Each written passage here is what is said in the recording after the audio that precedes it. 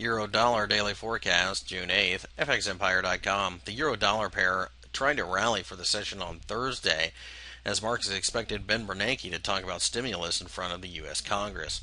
The fact that he didn't explicitly say so and mentioned that the actions of the Fed could take would be less effective than in the recent past certainly jolted the markets.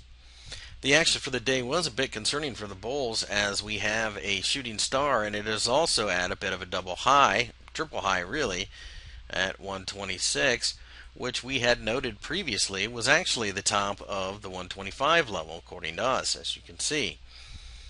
The situation in Europe is crumbling quickly, and as a result, this pair looks ready to fall again. A break of the lows for the Thursday session has us selling yet again.